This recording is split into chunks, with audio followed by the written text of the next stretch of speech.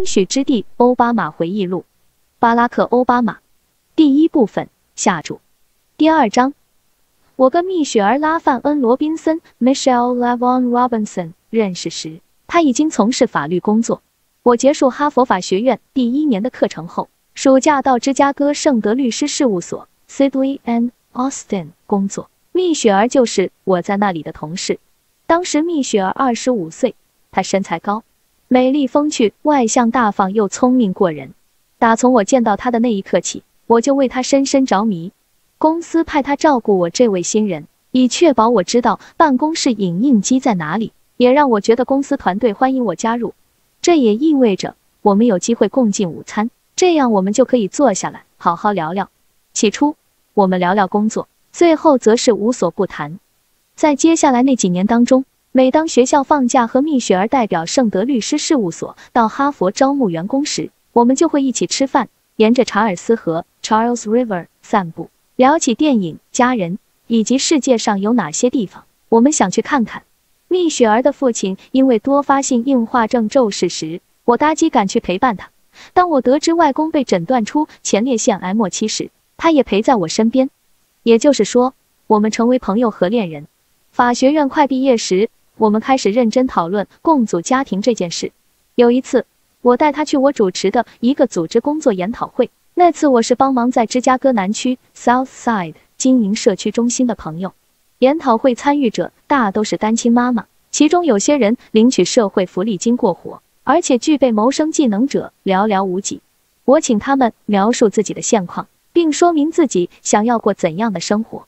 这个简单的练习我做过很多次。这是让人们将社区和生活的现况跟可能发生的变化联系起来的一种方式。那次研讨会结束后，我们走去开车途中，蜜雪儿挽着我的手跟我说：“我跟这些女士相处融洽，让她很感动。你给了她们希望。”我说：“她们需要的不仅仅是希望。”我试图向她解释我感受到的冲突：想在体制内寻求变革，却又反对体制；想要领导人们做出改变，却又想授权人们自己做出改变。想要参政，又不想被政界污染。蜜雪儿看着我，轻声地说：“世界的现况，以及世界应有的样貌，差不多就是那样。”蜜雪儿很有原创精神，我认识的人当中，很少有人像她这样。虽然我当时还没开口求婚，但我开始打算要她嫁给我。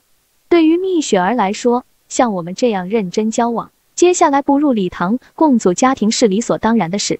但是对我来说，我从小跟着二段婚龄都不长的母亲长大，我一直不急着将交往关系正式化。不仅如此，在我们恋爱初期，我们之间的争论就相当激烈。我很自以为是，他也从不屈服。他的哥哥克雷格 （Craig） 曾是普林斯顿大学篮球队明星球员，并在担任篮球教练前，在投资银行工作。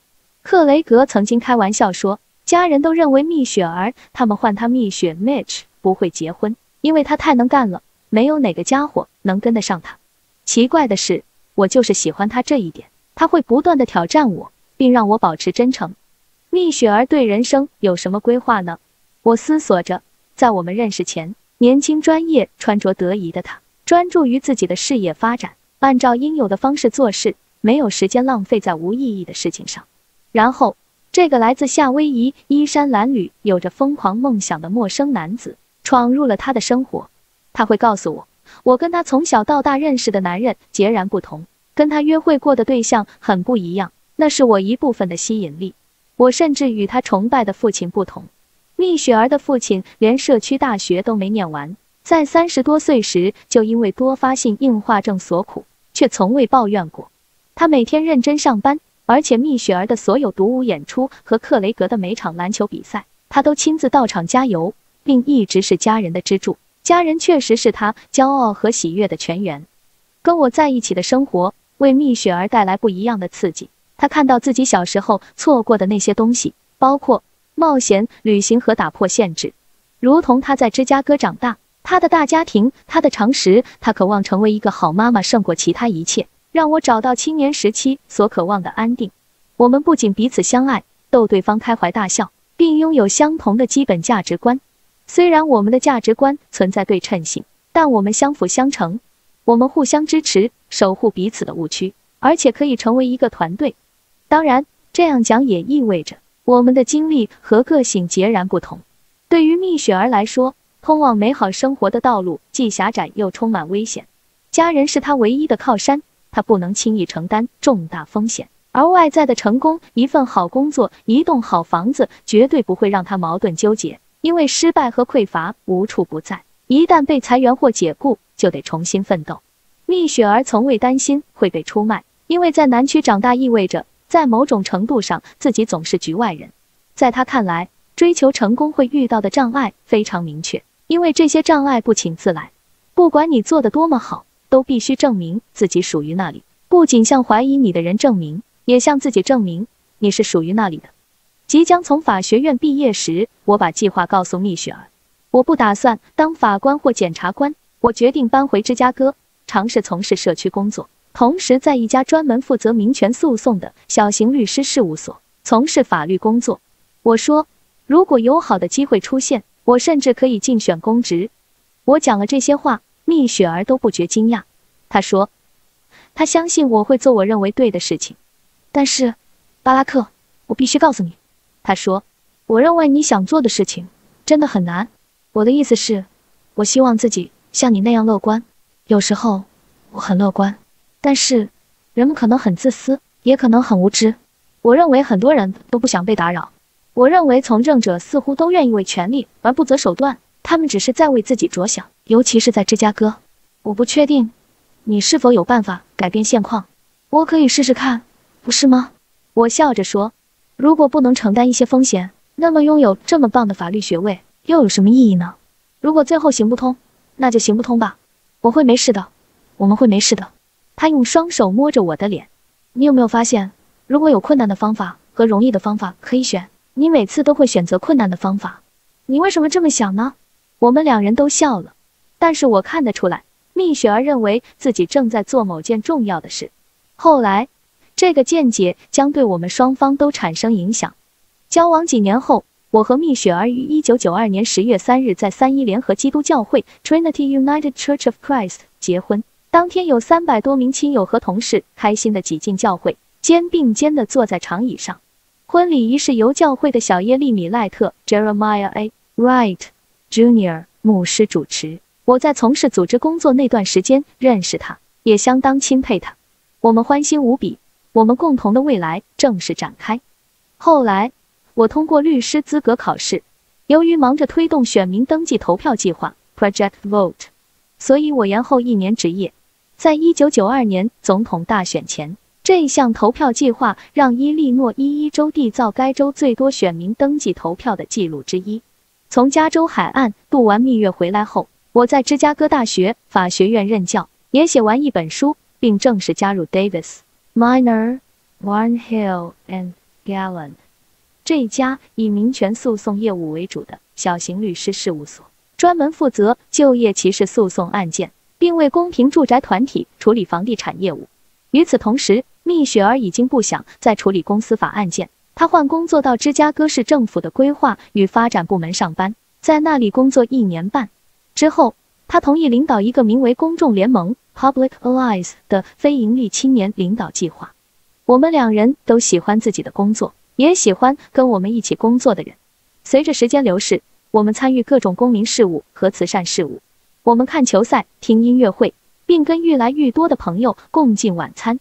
我们在海德公园 （Hyde Park） 买到一间舒适的小公寓，就在密歇根湖和湖甲点 （Promontory Point） 对面，走几步路就到蜜雪儿的哥哥克雷格夫妇的新家。蜜雪儿的母亲玛丽安 （Marian） 仍然住在南岸的老家。离我们家不到十五分钟路程，我们经常去拜访她，品尝蜜雪儿母亲做的炸鸡和蔬菜红丝绒蛋糕，以及舅舅皮特 Pete 的烤肉。饱餐一顿后，我们会围坐在厨房，听他舅舅讲从小到大的故事。夜愈深，我们笑得愈大声，因为蜜雪儿的侄子和侄女会在沙发上跳来跳去，最后他们就被带到院子里玩耍。在暮色中开车回家时。蜜雪儿和我有时会谈论起养育自己的小孩，我们想象我们的小孩会是什么模样，或是我们会生几个小孩，还有要不要养一条狗。我们想象一家人会一起做的所有事情。平凡的生活，生儿育女的幸福人生，应该已经足够了。但是到了一九九五年夏天，一连串奇怪的事件突然为我带来进入政坛的机会。伊利诺伊伊州第二选区的现任联邦众议员梅尔雷诺兹 （Mel Reynolds） 遭到多项指控，包括据称与一名十六岁的竞选职工发生性关系。如果雷诺兹被定罪，将立即举行补选，以递补他的席次。我不住在那个选区，也缺乏参选联邦众议员的知名度和支持基础。然而，来自我们选区的州参议员爱丽丝·帕尔默 （Alice Palmer） 有资格参选这个联邦众议员席次。不久后，雷诺兹议员在八月被定罪，爱丽丝就宣布参选。爱丽丝是一位非洲裔美国人，先前曾是教育家，跟当地社区有很深的渊源。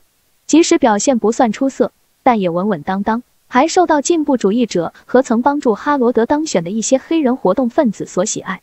尽管我不认识他，但我们有共同的朋友。根据我为投票计划所做的工作，爱丽丝要求我协助她的参选活动。经过几周后。有几个人鼓励我考虑申请参选爱丽丝即将空出的参议院席次。在跟蜜雪儿讨论前，我列出参选可能产生的利弊得失。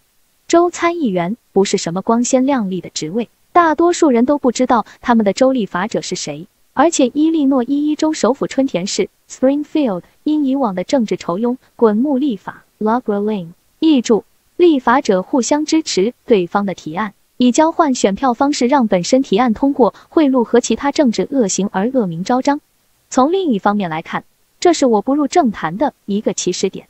而且，伊利诺伊州州议会每年只有开会几周，这表示我可以继续在大学任教和在律师事务所工作。最重要的是，爱丽丝同意支持我。由于雷诺兹的审判仍在进行中，因此很难知道时间上如何安排。从技术层面来看。如果爱丽丝在竞选联邦众议员时失去广大选民的支持，但她还可以选择保留原本州参议员的席次。但是她坚决地向我和其他人表示，她决定放弃州参议员的席次，准备好前进国会。后来，当地市议员东尼普瑞克温克 （Tony Preckwinkle） 也大力支持我。他以拥有当地最优秀组织为傲，让我的胜选机会大增。我去找蜜雪儿商量，并跟她游说。我说。把这次机会当成是水温，嗯，将脚趾进入水中，对，所以你有什么看法？他亲吻我的脸颊，我认为这是你想做的事情，所以你应该去做。只要答应我，我不必花时间去春田市。在开始行动前，我还必须跟最后一个人确认。今年年初，我母亲病倒，她被诊断出罹患子宫癌，这种病的愈后状况并不好，每天。我脑海里至少会闪过一次失去他的念头，让我的心都揪在一起。母亲得知离癌后，我立即搭机前往夏威夷。幸好他看起来没什么大碍，也精神振奋，让我松了一口气。他承认自己很害怕，但想尽可能采取积极治疗。他说：“我要等你给我生孙子孙女，我才要走。”他收到我可能参选州参议员的消息时，以一贯的热情回应我，并坚持要我告诉他每一个细节。他知道。我会有很多工作要做，但母亲向来是将辛勤工作当成好事看待的那种人。她说：“要确定蜜雪儿赞成你这样做，并不是说我是婚姻专家，而你又不敢拿我当借口说你不参选。我有够多的事情要应付，每个人的生活都要照常过下去。我只是生病了，明白吗？我明白。被诊断出罹患子宫癌的七个月后，母亲的情况变得更加严重。九月。”我和蜜雪儿搭机到纽约，跟妹妹玛雅和母亲一起到纪念斯隆凯特林癌症中心 （Memorial Sloan Kettering） 向那里的专家请教。现在，母亲正在进行化疗期间，她的身体发生变化，原本一头乌黑的长发都掉光了，她的眼神看起来很空洞。更糟的是，专家评估他处于癌症第四期，可以选择的治疗有限。看着母亲因为化疗导致唾液腺损伤而口干舌燥。必须口含冰块解渴时，我竭尽全力摆出一副勇敢的表情。我跟他聊起工作上的有趣故事，并讲述我刚刚看过的电影情节。当小我九岁、正在纽约大学就读的妹妹玛雅让我想起自己曾是专横的老大哥时，我们都笑了。我握住母亲的手，确定她在入睡前感到舒适。然后我回到旅馆房间，开始哭了起来。我是在这趟纽约行时。建议母亲来芝加哥跟我们同住，外婆年事已高，无法整天照顾她，但是我的母亲永远是自己命运的建筑师。她拒绝了，我宁愿待在某个既熟悉又暖和的地方。她一边说，一边看着窗外。我坐在那里，感到十分无助，想着她一生走过的漫长道路，沿途发生的每个意外小插曲，都充满快乐的机遇。我从没听过她老是想起令人失望的事，相反的。他似乎总能找到让自己开心的小乐趣，直到发病。人生很奇妙，不是吗？他轻声说：“是啊。”在母亲的建议下，我投入自己的第一场选战。回想起来，这场简陋的选举活动真让我觉得好笑。这场选战没有比竞选学生会会长这么简单的操作来的复杂，没有民调人员，没有研究人员，没有上电视或广播节目采访。我于一九九五年九月十九日宣布参选，地点在海德公园的华美达饭店 （Ramada Inn）。现场有椒盐脆饼、薯条和几百名支持者，其中大概有四分之一是蜜雪儿的亲朋好友。我们的竞选文宣包括一张八乘四英寸的卡片，上面有我的护照照片、几行简介，以及我从电脑上截取的四到五项重点。我在影印店 Tinko 打印这些文宣。我也强调。要雇佣我在参与投票计划时认识的两名政治老手。我的竞选总干事卡罗安·哈威尔 （Carol Ann Harwell） 年纪四十多岁，身材高，外表时髦，是向西区行政办公室借来的人员。尽管他总是笑脸迎人，但他很清楚芝加哥政坛的凶险。罗恩·戴维斯 （Ron Davis） 长得很像一只大灰熊，是我们竞选团队的现场主任和请愿专家。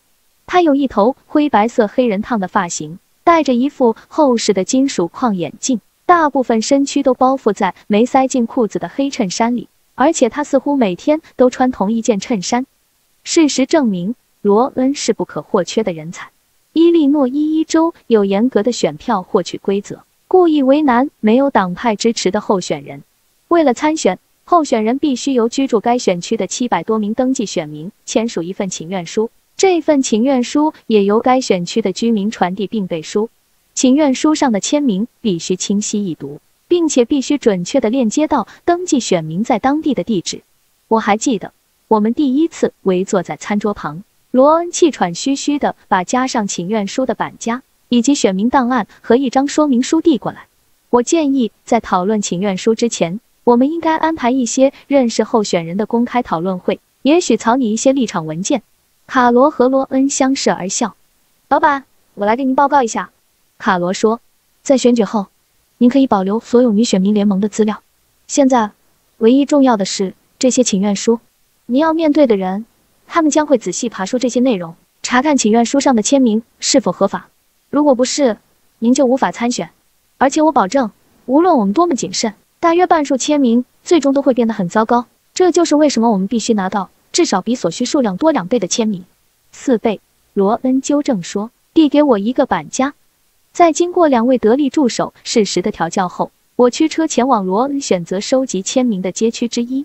感觉就像我早年从事组织工作一样，我挨家挨户的拜访。有些人不在家或不愿开门，女人卷着发夹，孩子四处乱跑，男人在做院子里劳动。偶尔会看到身穿运动衫和绑了头巾的年轻人在街上文晃。还一身酒味，有些人想跟我谈谈当地学校的问题，或是枪支暴力正蔓延到一个安定的工人阶级社区。但是大多数人会拿起板夹，在板子上签名，然后赶快进行原先在做的事情。对我来说，挨家挨户敲门就像家常便饭，但对蜜雪儿来说却是一种全新的体验。在每个周末，蜜雪儿都竭尽全力的帮忙，她迷人的笑容和在附近长大的故事。让她经常收集到比我更多的签名，但两个小时后，当我们回到车上开车回家时，她脸上却没有笑容。有一次，她告诉我，我所知道的是，我一定真的很爱你，才会把星期六早上的时间拿来做这件事。经过几个月的努力，我们顺利收集到所需数量四倍的签名。当我不在公司或不需要教课时，我就拜访街区会所、教会、社交场所和老人之家。向选民们表达自己的观点。我不是很优秀，我的竞选演说很生硬，注重政策陈述，缺乏启发性和幽默感，而且我觉得谈论自己很尴尬。身为组织工作者，我受过的训练是做好幕后工作，但是，我确实有进步，我变得更放松，而且支持者也逐渐增加。我获得地方官员、牧师和少数进步主义组织的支持，我甚至还草拟一些立场文件。我希望说的是，我的第一个竞选活动是这样结束的。这位年轻候选人和他善于社交、美丽宽容的妻子，从自家餐厅里的几个朋友开始，让人们团结起来，支持一个新的政治品牌。但事情并不是这样发展的。一九九五年八月，那位遭受指控的联邦众议员最终被判有罪并入狱，必须在十一月下旬举行补选。由于席次空置，时间表已正式排定。除了爱丽丝之外，其他人也参加补选，其中包括小杰西·杰克逊 （Jesse Jackson Jr.）。他在一九八八年民主党全国代表大会上激情地介绍其父亲，而引起全国关注。我和蜜雪儿认识小杰西，也很喜欢他。他的子子桑蒂塔 （Santita） 是蜜雪儿最要好的高中朋友之一，也是我们的伴娘。小杰西的受欢迎程度足以使他宣布参选，立即改变整个竞选态势，让爱丽丝处于极大的劣势。而且，由于国会补选结束几周后才提交关于爱丽丝州参议员席次的请愿书，所以我的团队开始担心，最好再确认一下，以确保如果爱丽丝输给小杰西。爱丽丝也不会跟你争夺参选资格，罗恩说。我摇了摇头。他向我保证，他不会参选。他承诺过，也公开说过，甚至在报纸上都看得到。很好，巴拉克。但是，请您再确认一次，好吗？我做了。我打电话给爱丽丝，她再次向我保证，不管她在竞选联邦众议员时发生什么事，她仍然打算离开伊利诺伊伊州的政坛。但是。当小杰西在补选中轻松获胜，而爱丽丝的票数差距甚大，排名第三时，事情却发生一些变化。当地媒体开始出现征召爱丽丝·帕尔默参选的报道。爱丽丝的一些长期支持者要求开一次会。当我出席时，他们建议我退出选战。他们说，社区负担不起放弃爱丽丝这么资深的议员。我应该耐心点，最后总会轮到我。我坚持自己的立场。毕竟，一些志工和捐款人已经为这场选战投入许多心力和大量资金。即使小杰西参选了，我还是一直支持爱丽丝。但是大家仍然不为所动。当我跟爱丽丝交谈时，事态已经明朗化。接下来那一周，她在春田市举行记者会，宣布她正赶在最后一刻提交自己的请愿书，以进行投票并留住原本的席次。我早就跟您说过，卡罗说。他吸了一大口烟。一缕白烟往天花板飘去，我觉得很沮丧。我被出卖了，但我明白自己并没有任何损失。在过去几个月里，我们已经创建一个良好的组织。所有赞成我的民选官员都表示他们会支持我们。罗恩和卡罗却不那么乐观。老板，我不得不告诉您，卡罗说。但是大多数人仍然不知道您是谁。真该死，他们也不知道爱丽丝是谁呀。但是现在。我这样讲没有冒犯您的意思。就投票给谁来说，爱丽丝·帕尔默比巴拉克·奥巴马要有名的多。我明白卡罗的观点，但我告诉他们，我们将继续前进，即使许多芝加哥名人突然敦促我退出选战。然后在某天下午，罗恩和卡罗气喘吁吁地来到我家，看起来好像中乐透似的。爱丽丝的请愿书，罗恩说，太糟糕了，是我见过最差的请愿书。那些想要欺负您。让您退出选战的黑人都没有认真填写请愿书，这可能会让爱丽丝无法参选。我仔细看了罗恩和我们的竞选制工作的非正式记录，没错，爱丽丝提交的请愿书似乎都是无效签名，地址不在选区内的人，还有同一个笔记签好多个人名。我抓抓头说：“我不知道，伙伴们，您不知道什么？”卡罗说：“我不知道我是否想这样赢。我的意思是，没错。”我对发生的事感到生气，但是这些投票规则没有多大意义。我宁愿在选战中打败他。卡罗身体往后倾，下巴收紧。巴拉克，这个女人跟您保证不会参选。卡罗说：“因为她的诺言，我们所有人都在这里为选战而努力。但现在，当她试图压榨你，甚至还没法把那件事做好时，您还要让她侥幸得逞吗？难道您不认为他们一有机会？”就会马上想办法让你不能参选。他摇摇头，巴拉克，您是个好人，这就是为什么我们相信您。但是，如果您放任不管，那么您不妨再回去当教授，因为政治不适合您，您会被搞垮的，这样谁都不会有好处。我看着罗恩，他静静地说：“他说的对。”我把身体向后靠在椅子上，点燃一根香烟。我觉得自己被时间束缚了。我试图解析自己内心的感受。我有多想从政？我提醒自己，我相信自己可以透过从政完成的工作。如果有机会，我愿意为从政而努力。好吧，我终于这么说。好的，卡罗说。他脸上又恢复笑容。罗恩整理好文件，并将文件放进包包里。整个过程可能要花上好几个月，但是根据我当天的决定，选战实际上已经结束了。我们向芝加哥选举委员会 （Chicago Board of Election Commission） 的委员提出质疑。当委员会显然将做出对我们有利的裁决时，爱丽丝退选了。同时，我们也因其他几位民主党候选人的请愿书不服资格而获胜。没有民主党的反对者，只有共和党的反对派。我正往州参议院前进。无论我对更崇高的政治抱有什么看法，都必须等待。我认为从第一个竞选活动中，我学到有用的教训。我学会尊重政治的基本要素，关注必要的细节。每天的辛苦磨练，最后就成为胜负的关键。这场选战也证实我对自己的了解。无论我对公平竞争有什么偏好，我都不想成为输家。但是最令我难忘的教训跟竞选机制或强硬政治无关。而是跟我在十一月初有一天接到妹妹玛雅从夏威夷打来的那通电话有关。那时离知道选战结果还有一大段时间，妈妈的情况变得很糟。巴尔，玛雅说，有多糟？我认为你现在就必须过来。我本来就知道母亲的病情正在恶化，几天前我才跟她说过话。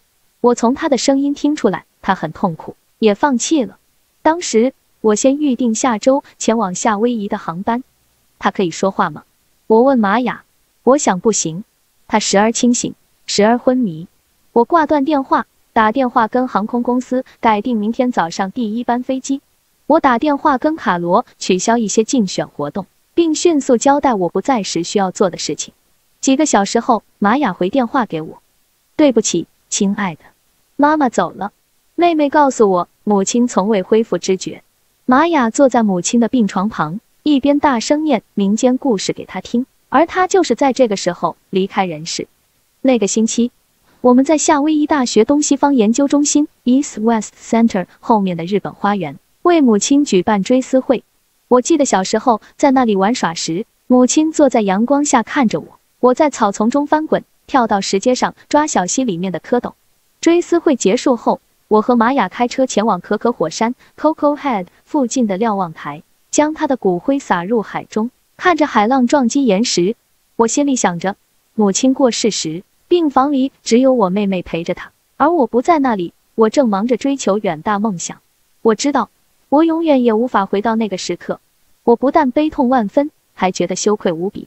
除非您住在芝加哥的南端，否则前往春田市最快的路线是经过五十五号洲际公路，在交通尖峰时段驶出市区，并穿越西边郊区。就会开始塞车，但是，一旦经过乔利埃特 （Joliet），交通就一路顺畅。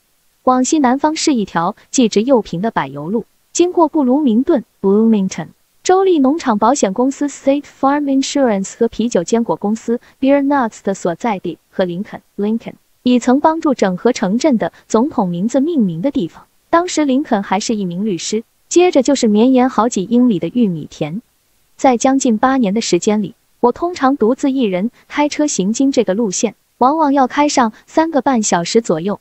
我从秋天那几个星期开始，经过整个冬天，再到初春时节，都这样往返春田市。这段期间也是伊利诺伊一州立法机关的开会期。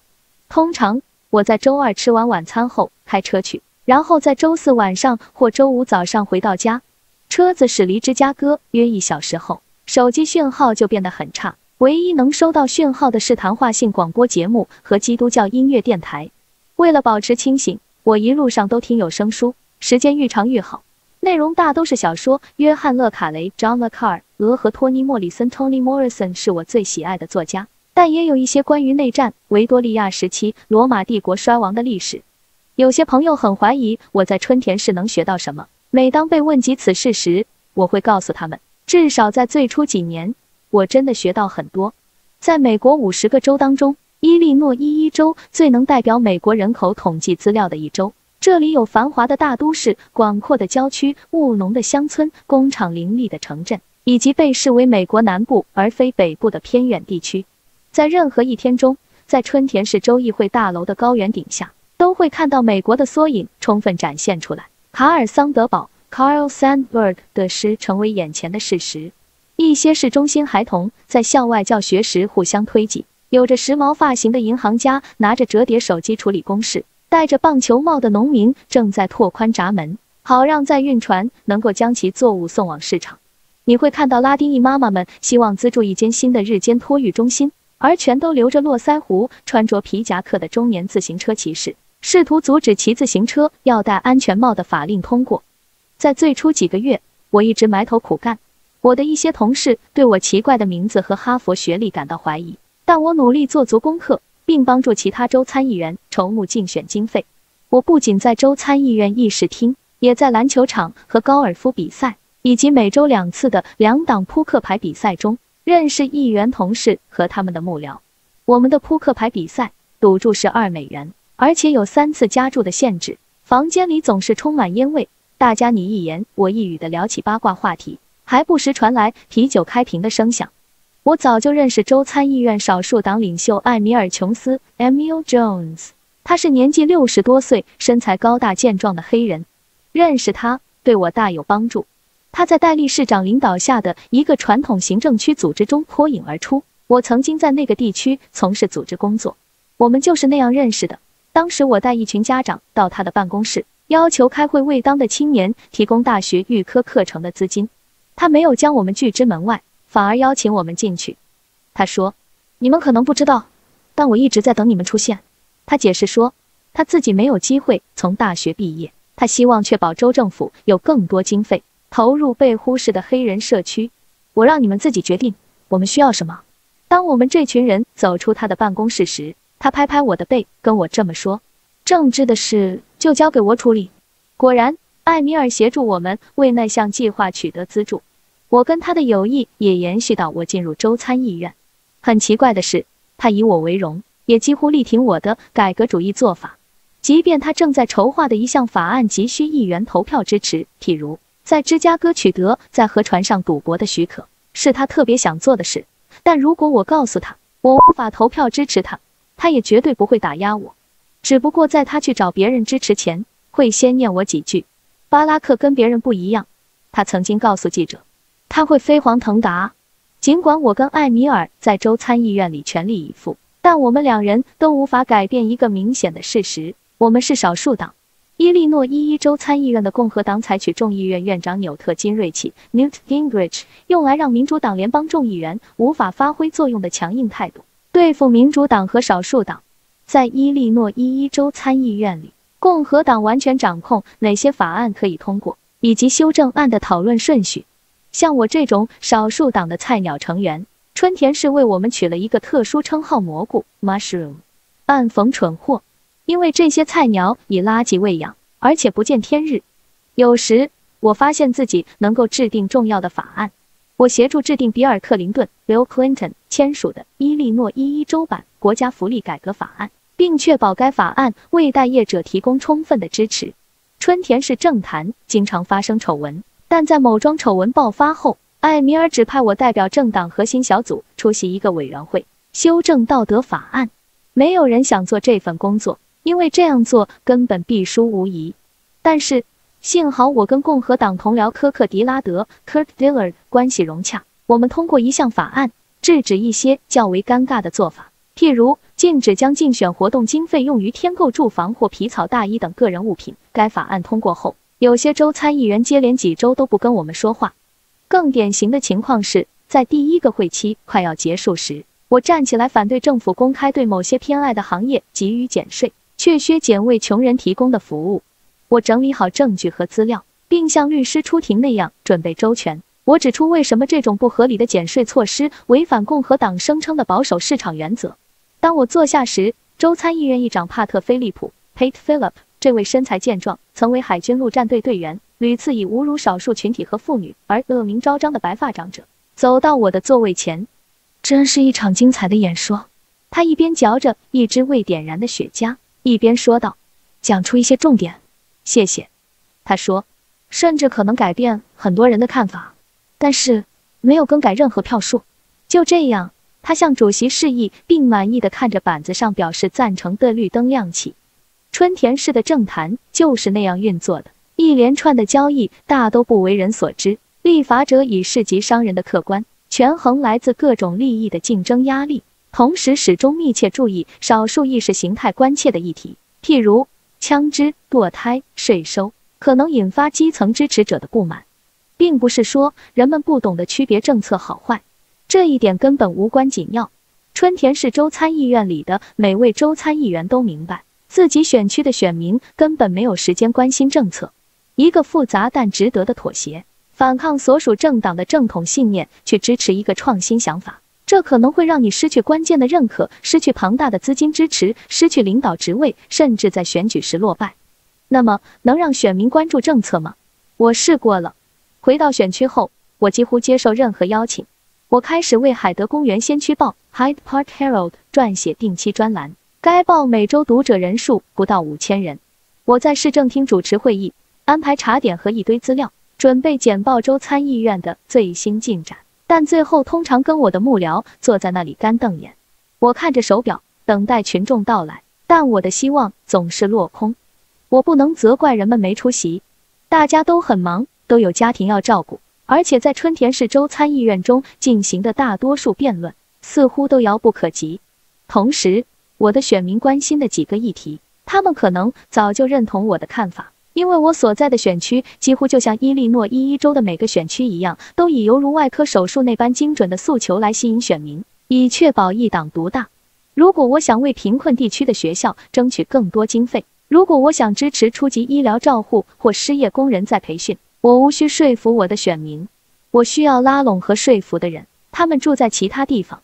在第二个会期结束时，我可以感觉到州议会大厦的气氛重压在我身上。身为少数党成员，根本徒劳无功。很多同事像是佩戴荣誉勋章般的冷嘲热讽。毫无疑问，大家都看出我承受很大的压力。有一天，当我提出的一项法案化为乌有，我站在圆形大厅里，一位好心的游说者走过来，将他的手放在我身上。他说：“巴拉克，你必须停止这种自取灭亡的做法。在这种地方生存下来的关键是要了解，从政就是做生意。”就像卖车或街上的洗衣店，如果你开始相信政治无所不能，你就会发疯。有些政治学家认为，我针对春田市所说的一切，都准确地描述多元主义应该如何运作。利益集团之间的讨价还价可能无法鼓舞人心，但却使民主在混乱中匍匐前进。要是那些年我可以跟家人一起生活，那些争论对我来说可能变得轻松许多。在州参议院工作的头两年，情况都很好。蜜雪儿忙于自己的工作，尽管她信守诺言，除了我宣誓就职外，其他时间不会来州政府。但我们平常仍会在电话中闲聊。然后，在一九九七年秋天的某个晚上，他在办公室打电话给我，声音有点颤抖：“发生一件事，发生什么事？你要当爸爸了？我要当爸爸了。接下来那几个月充满欢乐，我忍受准爸爸要听的所有陈腔滥调。”参加拉梅兹 （Lama Z） 课程，想办法搞懂怎样组装婴儿床，仔细研读怀孕知识百科 （What to expect when you are expecting），并且拿着笔画重点。七月四日早上六点左右，蜜雪儿把我摇醒，说该去医院了。我四处摸索，拿起我放在门口的袋子。七个小时后，玛利亚·安·奥巴马 （Maria An Obama） 这个体重八英镑十五盎司（约四五七克）的完美宝宝诞生了。我们的女儿拥有许多才华，最棒的是她生对时机。那时我没有会要开，没有课要上，也没有悬而未决的重大议案要处理。我可以利用暑假剩余的时间好好照顾她。我是天生的夜猫子，所以我负责晚班，让蜜雪儿可以好好睡觉。我把玛利亚放在我的大腿上，一边念书给她听。他张大眼睛，好奇地看着我。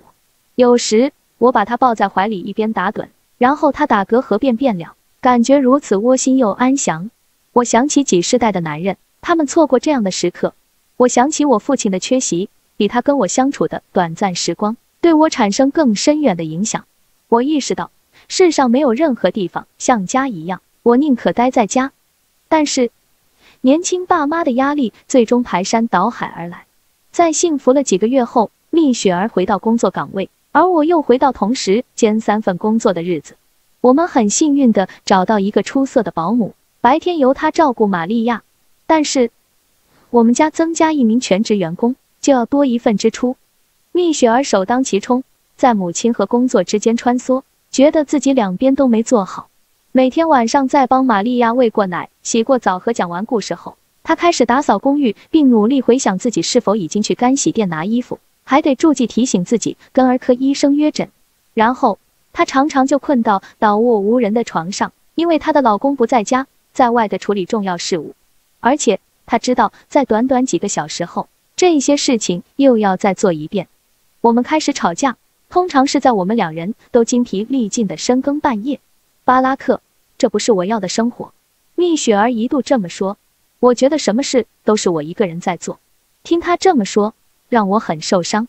我不用上班时就在家帮忙，我在家时却忘了晚餐后打扫厨房，那是因为我必须熬夜改考卷或修改简报。但是。就算我有正当理由，我仍然知道自己没做好。在蜜雪儿的愤怒中，藏着一个更难以面对的事实：我设法为许多人服务，并做到许多事情，就像先前我们的负担没有这么大，个人责任也没有如此沉重时，蜜雪儿预言的那样，一切都是我自讨苦吃。我现在想着玛利亚出生后，我对自己所做的承诺：我的孩子会懂我，他们长大后会知道我对他们的爱。会觉得我一直把他们摆在第一位。蜜雪儿坐在客厅昏暗的灯光下，看起来已经气消了，只是她一脸哀伤。这样值得吗？她问。我不记得当时我说了什么，但我知道我不能跟他承认，连我都不确定这么做是否值得。回想起来，很难理解自己为什么做蠢事。我不是说一些小事，譬如因为想在车上喝汤，就把最喜欢的领带弄脏。或是因为受邀在感恩节踢足球，就让自己闪到腰。我指的是在经过深思熟虑后做出愚蠢的选择。那些时候，你发现生活中的真正问题，你进行分析，然后自信满满的提出错误的答案。那件蠢事就是，我决定参选联邦众议员。在无数次交谈后，我不得不承认蜜雪儿是对的。她质疑我在春田市所做的改变是否值得全家为此牺牲，但是。我并没有减轻工作量，而是朝相反的方向前进。我认为我必须加倍努力，并争取更具影响力的职位。大约在同一时间，曾是黑豹党党人 Black Panther 的资深联邦众议员鲍比拉神 Bobby Rush，在一九九九年市长选举中，跟代理市长角逐市长大卫，却以惨败收场。即使在所属选区也表现不佳。我认为拉神这场选战没有任何新意。除了模棱两可的承诺说会继承哈罗德市长的遗志外，没有任何有力论据。如果这是他在国会的运作方式，我认为我可以做得更好。在与一些值得信赖的顾问讨论后，我让幕僚进行内部民调，以了解跟拉神争夺联邦众议员参选资格是否可行。我们的非正式抽样民调显示，我们有一些机会。利用这个民调结果，我说服几个最亲近的朋友为选战筹募资金。然后，尽管有经验更丰富的政治人士警告说，拉神的影响力不容小觑，加上蜜雪儿也质疑我的想法，不认为我在华府担任联邦众议员，他的日子就会比我在春田市当州参议员更好过。但我还是宣布，我要争取联邦众议员第一选区的候选资格。这场选战几乎从一开始就是一场灾难。几周后，拉神的阵营发动攻击，奥巴马是局外人。他获得白人的支持，他是哈佛的精英，而光看他的名字，他是黑人吗？筹募到足够资金进行一次较为准确的民调后，我发现拉神在该选区拥有百分之九十的知名度和百分之七十的支持率，而知道我是谁的选民只有百分之十一。不久后，拉神的儿子惨遭枪杀身亡，激起选民的同情心。我其实将竞选活动暂停了一个月。并看到电视报道，拉神在我常去的教会为儿子举办追思会，并由跟我熟识的赖特牧师主持。我在家里感觉如履薄冰。我带家人去夏威夷度过一个短暂的圣诞节假期，打算让州长召开一次特别立法会议，针对我支持的枪支管制措施进行投票。但是当时才十八个月大的玛利亚刚好生病，无法搭机回芝加哥，所以我错过这次投票，并遭到芝加哥媒体的全面抨击。最后，我只拿到百分之三十的选票，败给拉神。在跟年轻人谈论政治时，有时我会利用这个故事。告诉大家什么事情不该做。通常我会写一段后记，描述我在败选后的几个月。因为有人很担心我会开始退缩，坚持要我跟他一起参加在洛杉矶举办的二零零零年民主党全国代表大会。他说：“你必须重新振作起来。”但是当我抵达洛杉矶机场并试图租车时，却被拒绝了。原因是我的美国运通卡刷爆了。我想办法抵达会场史坦波中心 （Staples Center）。后来却得知，我朋友帮我拿到的入场资格不能进入会议厅，于是我只好四下晃晃，并在电视墙观看整个活动。那天稍晚还发生一件尴尬的事，我朋友想带我参加一个聚会，却没办法让我跟去，于是我搭计程车回到他下榻的饭店套房，睡在沙发上。隔天我搭机飞回芝加哥时，艾尔高尔 （Al Gore） 正在接受提名。这是一个有趣的故事。尤其是考虑到我最终的去向，我告诉我的听众，这说明了政治的不可预测性以及复原力的必要。我没有提到的是，搭机飞回芝加哥途中，我的心情跌到谷底。我快四十岁了，既没钱，又遭受屈辱的失败，而且婚姻关系紧张。这可能是我一生当中第一次感到自己走错方向。无论我以为自己精力有多么旺盛，个性多么乐观，无论我以为自己有多大的潜力。却因为一次愚蠢的选择，让一切全部落空。更糟糕的是，我认清自己参选联邦众议员，不是出于渴望改变世界的无私梦想，而是出于想证明自己做出的选择，想满足自尊心或平息对他人的成就产生的嫉妒。换句话说，年轻时我曾经告诫自己不能成为那样的人，而现在我却成为那样的人。我已经成为政治人物。但我并不是优秀的政治家。